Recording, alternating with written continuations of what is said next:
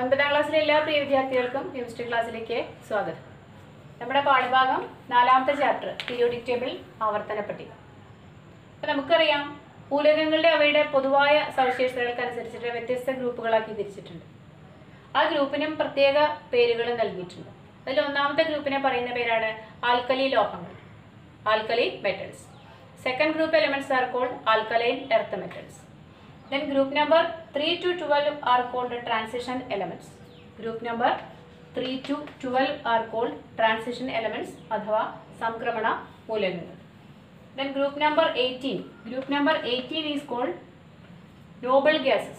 Noble gases എന്ന് പറയുമ്പോൾ ഉത്കൃഷ്ട വാതകങ്ങൾ Then elements belongs to group number 1 comma 2 group number 1 comma 2 then group number 13 to 18 are called representative elements അഥവാ പ്രാതിനിധ്യ മൂലകങ്ങൾ then the elements belongs to the sixth period and seventh period are called lanthanoids and actinoids ആറാമത്തെ പീരീഡിന്റെ തുടർച്ചയും ഏഴാമത്തെ പീരീഡിന്റെ തുടർച്ചയുമായി വരുന്ന മൂലകങ്ങളാണ് ലാന്തനോയിഡുകളും actinoid ആക്ടിനോയിഡുകളും ഇനി നമുക്ക് വിശദമായിട്ട് periodic table ഉപയോഗിച്ച് ഇവ ഏതൊക്കെയാണെന്ന് മനസ്സിലാക്കാം Now let us discuss the different groups of periodic table.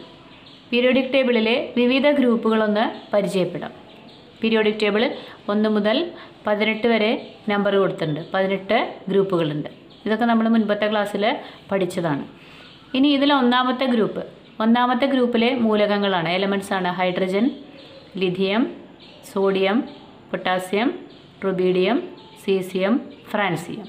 ഈ ഒന്നാം ഗ്രൂപ്പ് മൂലകങ്ങളെ പറയുന്ന പേരാണ് ആൽക്കലി ലോഹങ്ങൾ. അതായത് alkali metals the elements belongs to group one are called alkali metals ഒന്നാം ഗ്രൂപ്പ് മൂലകങ്ങളെ പറയുന്ന പേരാണ് ആൽക്കലി ലോഹങ്ങൾ. അതുപോലെ രണ്ടാമത്തെ ഗ്രൂപ്പിലെ രണ്ടാം ഗ്രൂപ്പിലെ മൂലകങ്ങളാണ് beryllium magnesium calcium strontium barium radium തുടങ്ങിയവ. രണ്ടാം ഗ്രൂപ്പ് മൂലകങ്ങളെ പറയുന്ന പേരാണ് alkaline earth metals alkaline earth ലോഹങ്ങൾ. അപ്പോൾ ഈ പേരിൽ നിന്ന് പേരിൽ നിന്ന് തന്നെ നമുക്ക് വ്യക്തമായിട്ട് അറിയാം. ഒന്നാമത്തെ ഗ്രൂപ്പിലും അതുപോലെ രണ്ടാമത്തെ ഗ്രൂപ്പിലുള്ള മൂലകങ്ങൾ എലമെൻസൊക്കെ എങ്ങനെയുള്ളവയാണ്? ലോഹങ്ങളാണ് അഥവാ മെറ്റൽസ് ആണ്. ഇനി ഗ്രൂപ്പ് നമ്പർ മൂന്ന്. ഗ്രൂപ്പ് നമ്പർ മൂന്ന് മുതൽ പന്ത്രണ്ട് വരെയുള്ള ഗ്രൂപ്പുകൾ അവയുടെ പൊസിഷൻ പ്രത്യേകം ശ്രദ്ധിക്കണം. പീരിയോഡിക് ടേബിൾ മൂന്നാമത്തെ ഗ്രൂപ്പ് ഇവിടെയാണ്. മൂന്ന് മുതൽ പന്ത്രണ്ട് വരെയുള്ള ഗ്രൂപ്പുകളെ പറയുന്ന പേരാണ് ട്രാൻസിഷൻ എലമെന്റ്സ് ട്രാൻസിഷൻ എലമെന്റ്സ് അഥവാ സംക്രമണ മൂലകങ്ങൾ. അതുപോലെ തന്നെ പതിമൂന്നാമത്തെ ഗ്രൂപ്പ് പതിമൂന്നാമത്തെ ഗ്രൂപ്പിനെ പറയുന്ന പേരാണ്. ആ ഗ്രൂപ്പിലെ ആദ്യത്തെ മെമ്പറിന്റെ പേരനുസരിച്ചിട്ടാണ് നമ്മൾ ഗ്രൂപ്പിന്റെ പേര് പറയുന്നത്. പതിമൂന്നാമത്തെ ഗ്രൂപ്പിലെ ആദ്യത്തെ മൂലകമാണ് ബോറോൺ. അപ്പോൾ അത് നമ്മൾ അതുകൊണ്ട് നമ്മൾ ഈ ഗ്രൂപ്പിനെ ബോറോൺ ഫാമിലി അഥവാ ബോറോൺ കുടുംബമെന്ന് പറയുന്നു. പതിനാലാമത്തെ ഗ്രൂപ്പിലെ ആദ്യത്തെ മൂലകമാണ് കാർബൺ അതുകൊണ്ട് പതിനാലാം ഗ്രൂപ്പിനെ കാർബൺ ഫാമിലി അഥവാ കാർബൺ കുടുംബമെന്നും പറയുന്നു. പതിനഞ്ചാമത്തെ ഗ്രൂപ്പിലെ ആദ്യത്തെ എലമെന്റാണ് നൈട്രജൻ അതുകൊണ്ട് പതിനഞ്ചാം ഗ്രൂപ്പിനെ നൈട്രജൻ കുടുംബം അല്ലെങ്കിൽ നൈട്രജൻ ഫാമിലി എന്ന് പറയുന്നു. അപ്പോൾ അടുത്ത ഗ്രൂപ്പിന്റെ പേര് നിങ്ങൾക്കറിയാം. പതിനാറാമത്തെ ഗ്രൂപ്പ് ഓക്സിജൻ കുടുംബമാണ് ഓക്സിജൻ ഫാമിലി അതുപോലെ പതിനേഴാമത്തെ ഗ്രൂപ്പ്. പതിനേഴാമത്തെ ഗ്രൂപ്പിലെ ആദ്യത്തെ മൂലകം ഫ്ലൂറിനാണ് അപ്പോൾ ഫ്ലൂറിന്റെ പേരിലല്ല അറിയപ്പെടുന്നത് സാധാരണ അറിയപ്പെടുന്നത്. പതിനേഴാമത്തെ ഗ്രൂപ്പിനെ പറയുന്ന പേരാണ് ഹാലോജൻസ്. പതിനേഴാമത്തെ ഗ്രൂപ്പിനെ ഹാലോജനുകൾ എന്ന് വിളിക്കുന്നു. ഇനി പതിനെട്ടാമത്തെ ഗ്രൂപ്പ്. പതിനെട്ടാമത്തെ ഗ്രൂപ്പിനെ പറയുന്ന പേരാണ് ഉത്കൃഷ്ട വാതകങ്ങൾ ഉത്കൃഷ്ട വാതകങ്ങൾ അഥവാ നോബിൾ ഗ്യാസസ്. അപ്പോൾ ഓരോ ഗ്രൂപ്പിന്റെയും പേര് മനസ്സിലായി എന്ന് വിചാരിക്കുന്നു. അപ്പോൾ ഒന്നും കൂടെ ശ്രദ്ധിക്കുക. ഒന്നാം ഗ്രൂപ്പ് ആൽക്കലി മെറ്റൽസ് ആൽക്കലി ലോഹങ്ങൾ രണ്ടാമത്തെ ഗ്രൂപ്പ് ആൽക്കലൈൻ എർത്ത് ലോഹങ്ങൾ ആൽക്കലൈൻ എർത്ത് മെറ്റൽസ് മൂന്ന് മുതൽ പന്ത്രണ്ട് വരെയുള്ള ഗ്രൂപ്പ് ട്രാൻസിഷൻ എലമെന്റ്സ് അഥവാ സംക്രമണ മൂലകങ്ങൾ. പിന്നെ ബോറോൺ കുടുംബം കാർബൺ കുടുംബം നൈട്രജൻ കുടുംബം ഓക്സിജൻ കുടുംബം പതിനേഴാമത്തെ ഗ്രൂപ്പ് ഹാലജൻസ് പതിനെട്ടാമത്തെ ഗ്രൂപ്പിന് പറയുന്ന പേരാണ് ഉത്കൃഷ്ടവാതകങ്ങൾ അഥവാ നോബിൾ ഗ്യാസസ് ഇനി നമുക്കിതിൽ ഓരോന്നും ഒന്ന് വിശദമായിട്ട് പരിചയപ്പെടാം. ഇനി നമുക്ക് വിശദമായിട്ട് പരിചയപ്പെടാനുള്ളത് റെപ്രസെന്റേറ്റീവ് എലമെന്റ്സ് അഥവാ പ്രാതിനിധ്യ മൂലകങ്ങൾ. അപ്പോൾ ഏതൊക്കെ ഗ്രൂപ്പുകളാണ് റെപ്രസെന്റേറ്റീവ് എലമെന്റ്സിൽ ഉൾപ്പെട്ടിട്ടുള്ളതെന്ന് പരിശോധിക്കാം. ഇതിൽ ഒന്നാമത്തെ ഗ്രൂപ്പ്. ഒന്നാമത്തെ ഗ്രൂപ്പ് ആൽക്കലി ലോഹങ്ങൾ. രണ്ടാമത്തെ ഗ്രൂപ്പ് ആൽക്കലൈനർത്ത് ലോഹങ്ങൾ. പിന്നെ പതിമൂന്നാമത്തെ ഗ്രൂപ്പ് മുതൽ പതിനെട്ടാമത്തെ ഗ്രൂപ്പ് വരെയുള്ള മൂലകങ്ങൾ. ഇത്രയും ഗ്രൂപ്പുകൾ ഉൾപ്പെട്ടതാണ് റെപ്രസെന്റേറ്റീവ് എലമെന്റ്സ് അഥവാ പ്രാതിനിധ്യ മൂലകങ്ങൾ. അപ്പോൾ ഏതൊക്കെയാണെന്ന് ഒന്നുകൂടെ ശ്രദ്ധിക്കുക. Group number one group number two പിന്നെ group number thirteen to eighteen ഗ്രൂ ഒന്നാമത്തെ ഗ്രൂപ്പിലെയും രണ്ടാമത്തെ ഗ്രൂപ്പിലെയും പിന്നെ പതിമൂന്ന് മുതൽ പതിനെട്ട് വരെ ഗ്രൂപ്പിലെയും മൂലകങ്ങൾ ഉൾപ്പെടുന്നതാണ് പ്രാതിനിധ്യ മൂലകങ്ങൾ അഥവാ റെപ്രസെന്റേറ്റീവ് എലമെന്റ്സ് അവയെ റെപ്രസെന്റേറ്റീവ് എലമെന്റ്സ് പറയാനുള്ള കാരണം നമ്മൾ കഴിഞ്ഞ ക്ലാസ്സിൽ ചർച്ച ചെയ്തിട്ടുണ്ടല്ലേ? ഒന്നാമത്തെ ഗ്രൂപ്പാണെങ്കിൽ അതിന്റെ ബാഹ്യശല്യയിലുള്ള ഇലക്ട്രോണിന്റെ എണ്ണം ഒന്നായിരിക്കും. രണ്ടാമത്തെ ഗ്രൂപ്പാണെങ്കിൽ ബാഹ്യശല്യയിൽ ഇലക്ട്രോണിന്റെ എണ്ണം രണ്ടാണ് നമുക്കറിയാം. ഇവിടെ പതിമൂന്നാമത്തെ ഗ്രൂപ്പാണെങ്കിൽ ബാഹ്യശല്യയിൽ ഇലക്ട്രോണിന്റെ എണ്ണം മൂന്നായിരിക്കും. പതിനാലാം ഗ്രൂപ്പാണെങ്കിൽ ബാഹ്യശല്യയിൽ ഇലക്ട്രോണിന്റെ എണ്ണം നാല്. അങ്ങനെ പോലെ പതിനഞ്ചാം ഗ്രൂപ്പാണെങ്കിൽ അഞ്ചായിരിക്കും. പതിനാറാം ഗ്രൂപ്പാണെങ്കിൽ ആറ്. പതിനേഴാമത്തെ ഗ്രൂപ്പാണെങ്കിൽ ഔട്ടർ മോസ്റ്റ് ഷെല്ലിൽ സെവൻ ഇലക്ട്രോൺ എയ്റ്റീൻത് ഗ്രൂപ്പാണെങ്കിൽ ഔട്ടർ മോസ്റ്റ് ഷെല്ലിൽ എയ്റ്റ് ഇലക്ട്രോൺ അതായത് ഒന്ന് മുതൽ എട്ട് വരെ ഇലക്ട്രോണുകളുടെ എണ്ണമാണ് പ്രാതിനിധ്യ മൂലകങ്ങളെ സംബന്ധിച്ച് ബാഹ്യതമ ഷെല്ലിൽ ഉണ്ടായിരിക്കുക that means the representative elements contain the the outermost electronic configuration from 1 to 8. Representative elements എലമെന്റ്സിന്റെ സ്ഥാനം പീരിയോഡിക് ടേബിളിൽ എവിടെയാണ് കൃത്യമായിട്ട് മനസ്സിലായി എന്ന് കരുതുന്നു. ഒന്നുകൂടെ ഓർമ്മിക്കുക group number one group number two പിന്നെ group number from thirteen to eighteen ഇനി റെപ്രസെന്റേറ്റീവ് എലമെൻസിൽ ഒന്ന് രണ്ട് അതായത് പീരിയോഡിക് ടേബിളിൽ ഉയർന്നു നിൽക്കുന്ന പോർഷനാണ് ഏത്? റെപ്രസെന്റേറ്റ് റെപ്രസെന്റേറ്റീവ് എലമെന്റ്സ് ആയിട്ട് പ്രാതിനിധ്യ മൂലകങ്ങളായിട്ട് സാധാരണ നമ്മൾ കണക്കാക്കുന്നത് ഇതിലെ സോളിഡ് സ്റ്റേറ്റിൽ ഖരാവസ്ഥയിലുള്ള മൂലകങ്ങൾ എലമെന്റ്സ് ഏതൊക്കെയാണെന്ന് കണ്ടുപിടിക്കണം. അപ്പോൾ നമുക്കിവിടെ ഇൻഡിക്കേഷൻ കൊടുത്തിട്ടുണ്ട് അല്ലേ? ഇവിടെ റെഡ് കളർ സൂചിപ്പിക്കുന്നത് ഏതിനെയാണ് സോളിഡ് സ്റ്റേറ്റ് ആണ്. അപ്പോൾ റെഡ് കളറിൽ കാണിച്ചിരിക്കുന്ന എലമെന്റ്സ് മുഴുവൻ ഏതാണ്? സോളിഡ് ആണ് ഖരാവസ്ഥയിലാണ്. അപ്പോൾ ഒന്നാമത്തെയും രണ്ടാമത്തെയും ഗ്രൂപ്പിൽ ഹൈഡ്രജൻ ഒഴിച്ച് ബാക്കിയൊക്കെ ഏതിലാണ്? ഖരാവസ്ഥയിലാണ്. പതിമൂന്ന് മുതൽ പതിനെട്ട് വരെയുള്ള ഗ്രൂപ്പിൽ സോളിഡ് സ്റ്റേറ്റിലുള്ളതാണ് ബോറോൺ അതുപോലെ aluminium carbon silicon gallium phosphorus arsenic tin lead അങ്ങനെ തുടങ്ങിയ കുറേ മൂലകങ്ങൾ. അപ്പോൾ പ്രാതിനിധ്യ മൂലകങ്ങളിലെ ഖരാവസ്ഥയിൽ കാണപ്പെടുന്നവയെ കണ്ടെത്താൻ സാധിക്കുമെന്ന് കരുതുന്നു. അതുപോലെ ലിക്വിഡ് സ്റ്റേറ്റ് ദ്രാവകാവസ്ഥയിൽ. ദ്രാവകാവസ്ഥയിലുള്ള എലിമെന്റ്സ് ഏതൊക്കെയാണ്? പ്രാതിനിധ്യ മൂലകങ്ങൾ ഇവിടെ ബ്രോമിനാണ് അല്ലേ ബ്രോമിനാണ് ദ്രാവകാവസ്ഥയിൽ. അപ്പോൾ ലിക്വിഡിനെ സൂചിപ്പിക്കുന്ന ഇവിടെ എന്താണ് നീല കളറാണ് കാണിച്ചിരിക്കുന്നത്. നീല നിറത്തിൽ കൊടുത്തിരിക്കുന്നതാണ് ദ്രാവകാവസ്ഥയിൽ. അപ്പോൾ ദ്രാവകാവസ്ഥയിലുള്ള പ്രാതിനിധ്യ മൂലകങ്ങളിൽ ഉൾപ്പെട്ടതാണ് ബ്രോമിൻ. അതുപോലെ ഗ്യാസിയ സ്റ്റേറ്റ് വാതകാവസ്ഥയിലുള്ള റെപ്രസെന്റേറ്റീവ് എലമെന്റ്സ് ഏതൊക്കെയാണ് വാതകാവസ്ഥയിൽ എന്ന് പറയുമ്പോൾ നമുക്ക് ഏതൊക്കെയാണ് നോക്കേണ്ടത് ഗ്രൂപ്പ് ഒന്ന് രണ്ട് നോക്കണം. പിന്നെ ഗ്രൂപ്പ് നമ്പർ പതിമൂന്ന് മുതൽ പതിനെട്ട് വരെ നോക്കണം. അപ്പോൾ അതിലെ ഗ്രീൻ കളറ്. ഗ്രീൻ കളറാണ് വേപ്പേഴ്സ് അഥവാ വാതകത്തിനെ സൂചിപ്പിക്കുന്നത്. അപ്പോൾ ഹൈഡ്രജൻ വാതകാവസ്ഥയിലാണ് ഗ്യാസ് സ്റ്റേറ്റ് ആണ് പിന്നെ ഏതാ? ഹീലിയം ഉണ്ട് neon argon krypton xenon radon. അതുപോലെ നൈട്രജൻ ഓക്സിജൻ ഫ്ലോറിൻ. ഇതൊക്കെ ഏതവസ്ഥയിലാണ് വാതകാവസ്ഥയിലാണ് അപ്പോൾ റെപ്രസെന്റേറ്റീവ് എലമെൻസിലെ സോളിഡ് ലിക്വിഡ് ഗ്യാസിന് എക്സാമ്പിൾ കണ്ടെത്താൻ സാധിച്ചു എന്ന് കരുതുന്നു. പ്രാതിനിധ്യ മൂലകങ്ങളിലെ ഖരാവസ്ഥയിലും ദ്രാവകാവസ്ഥയിലും വാതകാവസ്ഥയിലുമുള്ള മൂലകങ്ങൾ കണ്ടെത്താൻ എല്ലാവർക്കും മനസ്സിലായി എന്ന് കരുതുന്നു. ഇനി നമുക്ക് അടുത്തതായിട്ട് വിശദമായിട്ട് നോക്കാനുള്ളതാണ് പതിനെട്ടാമത്തെ ഗ്രൂപ്പ് എലമെന്റ്സ് പതിനെട്ടാമത്തെ ഗ്രൂപ്പ് എലമെന്റ്സിന് ഒരു പേര് പറഞ്ഞു. ഉത്കൃഷ്ടവാതകങ്ങൾ അഥവാ നോബിൾ ഗ്യാസസ്. ഉത്കൃഷ്ടവാതകങ്ങൾ അഥവാ നോബിൾ ഗ്യാസസ്. അപ്പോൾ ഇതിൽ നിന്ന് നമ്മൾ മുൻപ് പഠിച്ചതിൽ നമുക്കൊരു കാര്യം കൂടെ ഓർമ്മിച്ചെടുക്കാം. പതിനെട്ടാമത്തെ ഗ്രൂപ്പിലെ എലമെന്റ്സിൽ മൂലക മൂലകങ്ങൾക്കൊക്കെ ബാഹ്യത മഷലിൽ എട്ട് ഇലക്ട്രോണാണുള്ളത്. ബാഹ്യത മഷലിൽ എട്ട് ഇലക്ട്രോൺ. ഗ്രൂപ്പ് നമ്പർ നോക്കിക്കഴിഞ്ഞാൽ നമുക്കറിയാം അല്ലേ? ബാഹ്യത മഷലിൽ എട്ട് ഇലക്ട്രോൺ ആകുമ്പോഴാണ് നമ്മൾ അതിന്റെ കൂടെ പത്ത് ചേർത്തിട്ട് ഗ്രൂപ്പ് നമ്പർ എയ്റ്റീൻ എന്താ അഥവാ പതിനെട്ട് എന്ന് മനസ്സിലാക്കിയത്. അപ്പോൾ പതിനെട്ടാമത്തെ ഗ്രൂപ്പിലെ മൂലകങ്ങൾക്കൊക്കെ എലമെൻസിനൊക്കെ ഔട്ടർ മോസ്റ്റ് ഷെല്ലിൽ അതായത് ബാഹ്യതമ ഷെല്ലിൽ എട്ട് ഇലക്ട്രോണാണ് ഉള്ളത്. ബാഹ്യതമ ഷെല്ലിലെ എട്ട് ഇലക്ട്രോണുള്ള എലമെൻസൊക്കെ സാധാരണ സ്റ്റേബിളാണ് അല്ലേ? സ്ഥിരതയുള്ളതാണ് നമ്മൾ മുൻപത്തെ അധ്യായത്തിൽ പഠിച്ചിട്ടുണ്ട്. So they doesn't take part in any chemical reaction അപ്പോൾ അതുകൊണ്ട് സ്ഥിരതയുള്ളത് കൊണ്ട് അവ രാസപ്രവർത്തനത്തിലൊന്നും പങ്കെടുക്കാറില്ല. അപ്പോൾ പീരിയോഡിക് ടേബിളിൽ സ്ഥിരതയുള്ള അല്ലെങ്കിൽ സ്റ്റേബിൾ ആയിട്ടുള്ള എലമെൻസ് ആണ് പതിനെട്ടാമത്തെ ഗ്രൂപ്പിലെ മൂലകങ്ങൾ. അതുകൊണ്ടാണ് അവയെ നോബിൾ ഗ്യാസ് അഥവാ ഉത്കൃഷ്ടവാതകങ്ങൾ എന്ന് പറയുന്നത്.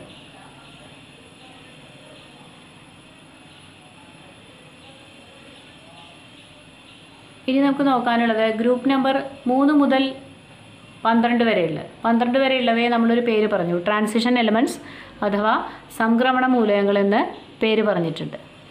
അപ്പോൾ നമുക്ക് വേണമെങ്കിൽ പീരിയോഡിക് ടേബിളിൽ ട്രാൻസിഷൻ എലമെന്റ്സ് മാത്രമായിട്ട് കാണാനുള്ളൊരു സംവിധാനം ഉണ്ടോ നോക്കാം. ട്രാൻസിഷൻ എലമെന്റ്സ് കണ്ടോ? ട്രാൻസിഷൻ എലമെന്റ്സ് എന്ന് പറയുമ്പോൾ പീരിയോഡിക് ടേബിളിൽ ഗ്രൂപ്പ് നമ്പർ മൂന്ന് മുതൽ പന്ത്രണ്ട് വരെയുള്ള ഗ്രൂപ്പാണ് ട്രാൻസിഷൻ എലമെന്റ്സ് അഥവാ സംക്രമണ മൂലകങ്ങൾ. ടീച്ചർ ഇതിൽ എടുത്തിരിക്കുന്ന സോഫ്റ്റ്വെയർ ഉബണ്ടുവിലുള്ള കാൽസ്യം സോഫ്റ്റ്വെയർ ആണ്. ഉബണ്ടുവിലുള്ള കാൽസ്യം എന്നുള്ള സോഫ്റ്റ്വെയർ എടുത്തിട്ടാണ് കാണിച്ചു തരുന്നത്. അപ്പോൾ നിങ്ങൾക്കും നിങ്ങളുടെ ലാപ്ടോപ്പ് ഉണ്ടെങ്കിൽ അല്ലെ ഉബണ്ടു ഉണ്ടെങ്കിൽ ഉബണ്ടുവിൽ കാൽസ്യം സോഫ്റ്റ്വെയർ എടുത്ത് നോക്കിക്കഴിഞ്ഞാൽ പീരിയോഡിക് ടേബിളിനെ കുറിച്ച് കുറേ കാര്യങ്ങൾ ഡീറ്റെയിൽ ആയിട്ട് മനസ്സിലാക്കാനായിട്ട് സാധിക്കും. അപ്പോൾ സംക്രമണ മൂലകങ്ങളുടെ പൊസിഷൻ മനസ്സിലായി എന്ന് വിചാരിക്കുന്നു. ട്രാൻസിഷൻ എലമെന്റ്സ് പീരിയോഡിക് ടേബിളിൽ മിഡിൽ പോർഷനാണ് ഗ്രൂപ്പ് നമ്പർ മൂന്ന് മുതൽ പന്ത്രണ്ട് വരെയുള്ള ഗ്രൂപ്പുകളാണ്. ഇനി ഇവയുടെ പ്രത്യേകതകൾ transition elements most of the transition elements are metals മിക്കവാറും ട്രാൻസിഷൻ എലമെന്റ്സ് സംക്രമണ മൂലകങ്ങൾ ലോഹങ്ങളാണ്.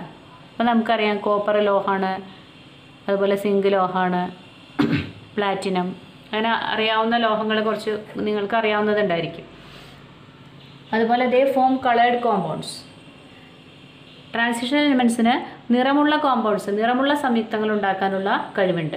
അത് ട്രാൻസിഷൻ എലമെൻസിന്റെ മാത്രം പ്രത്യേകതയാണ്. നിറമുള്ള സംയുക്തങ്ങൾ ഉണ്ടാക്കാനുള്ള പ്രത്യേകത. അപ്പോൾ നിങ്ങൾക്ക് അറിയാവുന്നൊരു ട്രാൻസിഷൻ എലമെന്റാണ് കോപ്പർ ചെമ്പ്. കോപ്പറിന്റെ ഒരു കോമൺ കോമ്പൗണ്ട് സാധാരണ കാണപ്പെടുന്ന ഒരു കളേർഡ് കോമ്പൗണ്ടാണ് കോപ്പർ സൾഫേറ്റ് കോപ്പർ സൾഫേറ്റിന്റെ നിറം നീലയാണ്. മിക്കവാറും എല്ലാവർക്കും പരിചയം ഉണ്ടെന്ന് വിചാരിക്കുന്നു. പിന്നെ next point they show similarities in chemical properties in groups as well as in period transition elements സാദൃശ്യം കാണിക്കുന്നു. എങ്ങനെയാണ്? ഗ്രൂപ്പിലും സാദൃശ്യം കാണിക്കുന്നുണ്ട്. അതുപോലെ പീരിയഡിലും സാദൃശ്യം പ്രദർശിപ്പിക്കുന്നു. അതാണ് ട്രാൻസിഷൻ എലിമെന്റ്സിന്റെ അല്ലെങ്കിൽ സംക്രമണ മൂലകങ്ങളുടെ പ്രത്യേകത. They shows similarities in groups and in period. Not only in groups but also in period. Okay. സാധാരണ എലമെന്റ്സ് സിമിലാരിറ്റി കാണിക്കുന്ന ഗ്രൂപ്പിൽ മാത്രമാണ് അപ്പോൾ സംക്രമണ മൂലകങ്ങൾ ട്രാൻസിഷൻ എലമെന്റ്സ് മാത്രമാണ് ഗ്രൂപ്പിലും അതുപോലെ തന്നെ പീരിയഡിലും സിമിലാരിറ്റി അഥവാ സാദൃശ്യം പ്രദർശിപ്പിക്കുന്നത്